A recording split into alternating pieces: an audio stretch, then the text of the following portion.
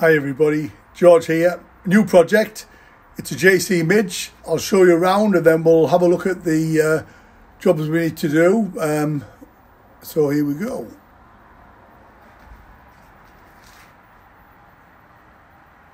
So it is a 1961 Triumph Herald.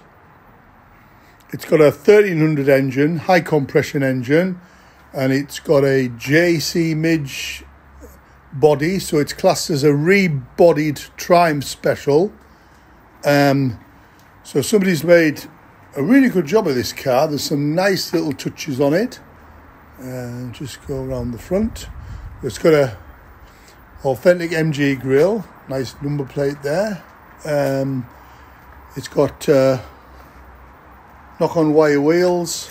Um, Got a couple of jobs from starting already, and the first job is the extremely narrow pedal box. So I'm gonna have to make a bulge in the side from my throttle foot. Um, then in the back, um, a bit of a clean up. I found a little rust hole in the chassis, which again I'll weld a plate on there. It's just down there at the uh, rear of that leaf spring. Not a biggie, but we'll do that. Um, but uh, it's got nice, it's got nice trim, nice aluminium beading around the door frames.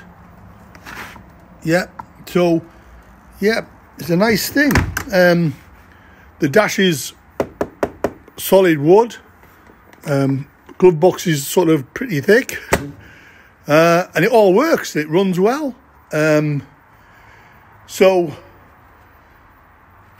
yeah, it's nice. It's a nice little project. I'm not going to over renovate it. I'm going to leave it, you know, a little bit tatty around the edges because it doesn't matter. Um, so there's the engine. 1200 Herald. I got it has got uh, twin SUs on. Um, so basically, uh, just a full a full mechanical service is all that's required. Um, everything say, everything works. It runs fairly well. These are the carbs setting up, but again, that's something I can do. Um, so engine oil change, brake fluid change, clutch fluid. That that's in a bit of a state. So I'm going to bleed that through. I'm going to uh, clean the front calipers, pads, etc. And I've got all new parts coming. Um, spark plugs, rocker covered gasket when I do the tappets new fuel line. I put uh, E10 compliant fuel line on the rubber hoses all the way through the system. Um, so won't have trouble with that. And suspension is all nice and solid, no slack, no free play. So yeah, it's pretty good, pretty good car. And uh, yeah, interesting little project. So uh, one last little look round and then that's it for today.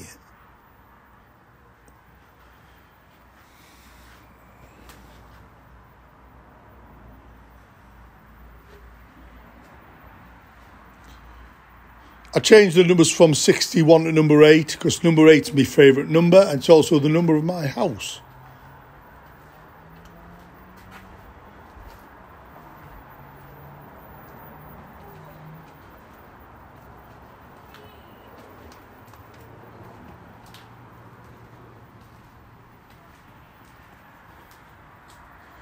So that's it. See you later. Bye.